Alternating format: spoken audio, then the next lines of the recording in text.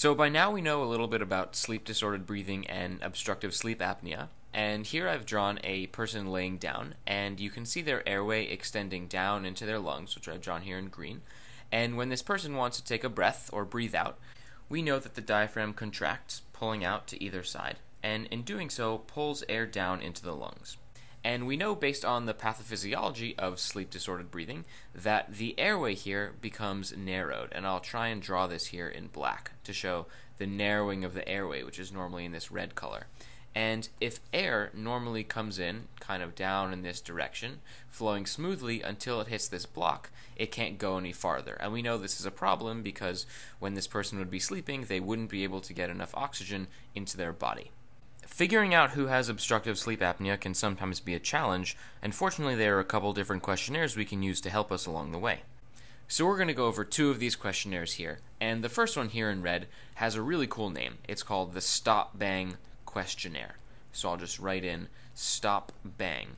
And each of these letters in our acronym Stop Bang stands for something, a question that you may ask this patient. So, this uh, acronym should help you remember. And this stop bang questionnaire is useful to us because it assesses a patient's risk for sleep apnea. So, what do each of these letters stand for? Well, the S stands for snoring. So, does this person snore really loudly, maybe even loudly enough to be heard through doors or walls? The T stands for tired. So, is this person tired during the day, which would make sense if they keep waking up during the middle of the night?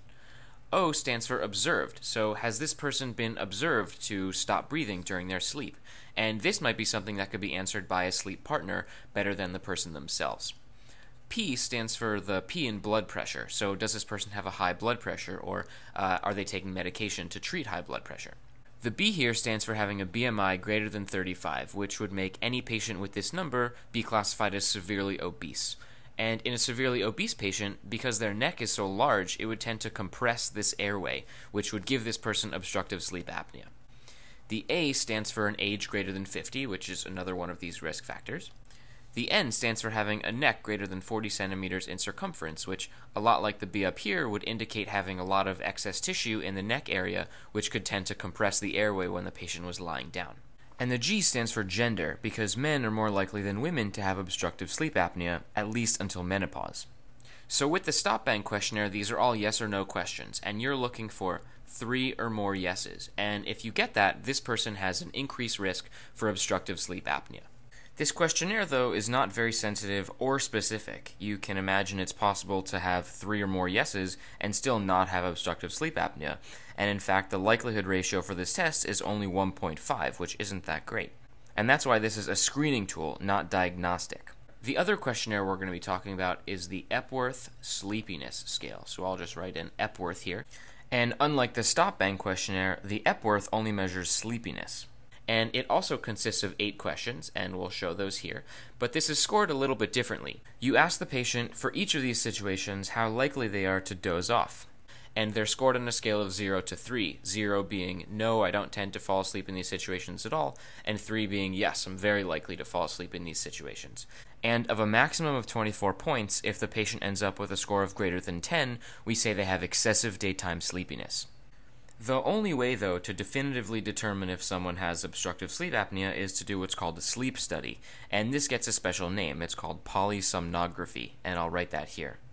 And when you do the graphs, it looks something like this. And we'll walk through exactly the details of this graph and what it means. Uh, but there's four different types of these respiratory events you might see when you're monitoring someone overnight. And we'll go through each of these four types obstructive, hypopnea, central, and mixed. So this graph has a lot of lines on it, and they each mean something important. This top line here, this is an EKG, so this is just to monitor the patient's heart. The second line here, this monitors airflow. And when you see this line deflecting upwards, this would be an inhalation, and downward deflections are exhalation. This middle line here, this represents thoracic effort, and what it's actually measuring is the movement of the chest wall. So by telling how much the chest expands, we can get an idea for thoracic effort. The line below it, this is abdominal effort, and it's a similar concept. It measures the movement of the abdomen. And together, thoracic and abdominal effort, these can give us an idea of what the diaphragm is actually doing without measuring directly if it's contracting. And this last line here, this is the SaO2, or the oxygen saturation, and you can see it has these little numbers 96, 94, 97 that just track over time uh, the oxygen saturation of the patient's blood.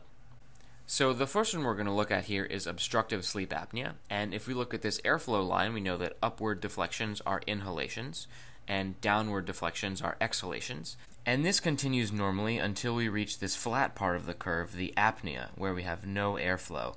And I'll just block off this region here with these two red lines so we can define more clearly this apnea we're talking about.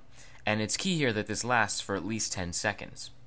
At the same time, though, our thoracic effort continues because the diaphragm and the abdominal muscles continue to work. They just have to try and work harder in order to pass this blockage to get any oxygen into the body.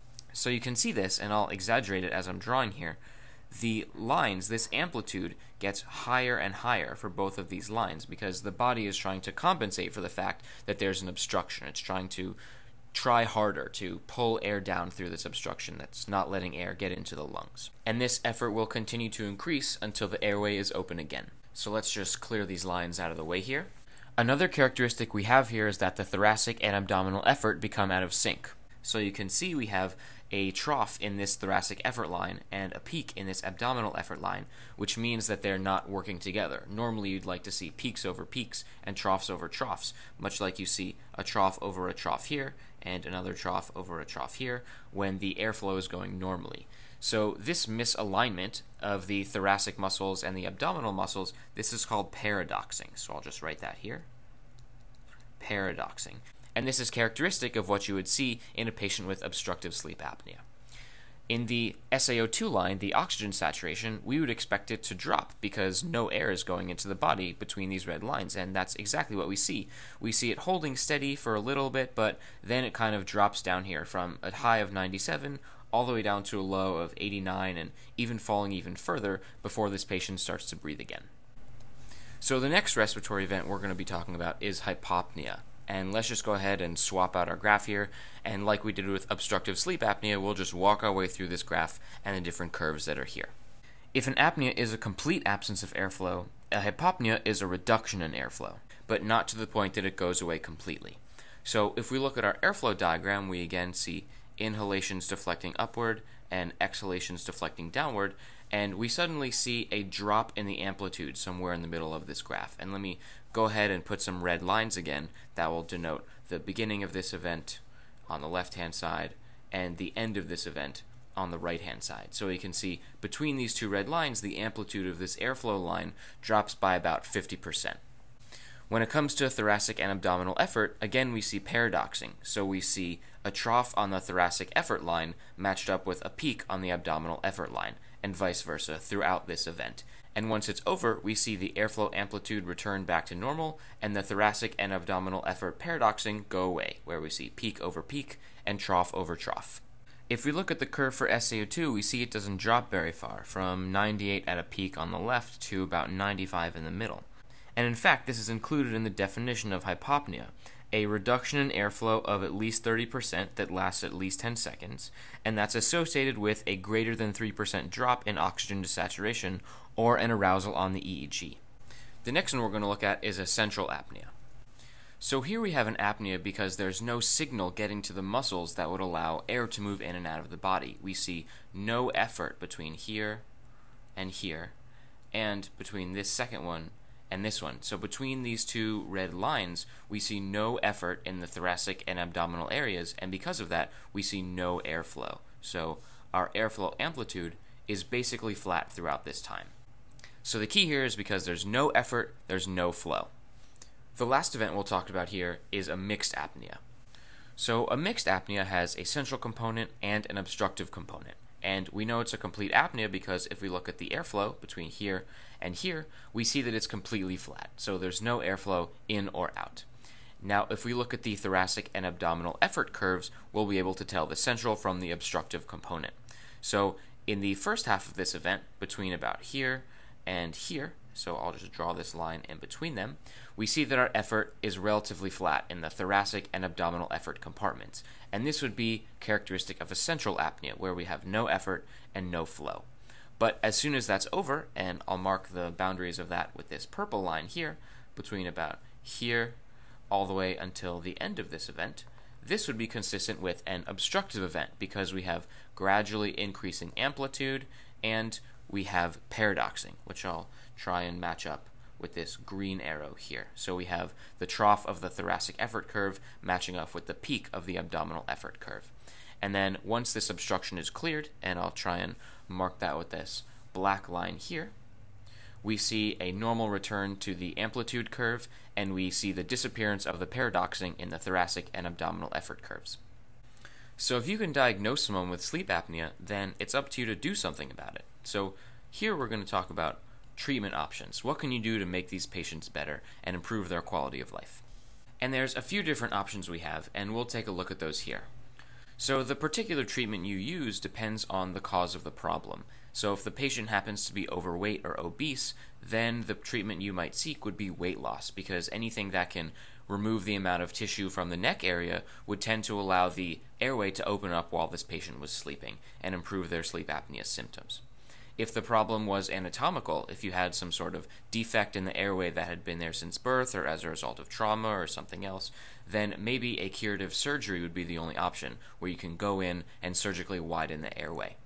Other things people have tried fall under the heading of positional therapy, so trying to teach someone to sleep on their side, or even going so far as sewing a golf ball into the back of their shirt, so anytime they lay on their back, they're uncomfortable and tend to just roll over, and because of that, they don't develop the airway blockage that would cause sleep apnea in the first place. Another non invasive therapy would be an oral device. So, this would be something like a mouth guard that could tend to push the jaw forward and, in doing so, widen the airway and allow air to flow normally in and out between the lungs and the outside world. All four of these treatments, though, are for mild obstructive sleep apnea.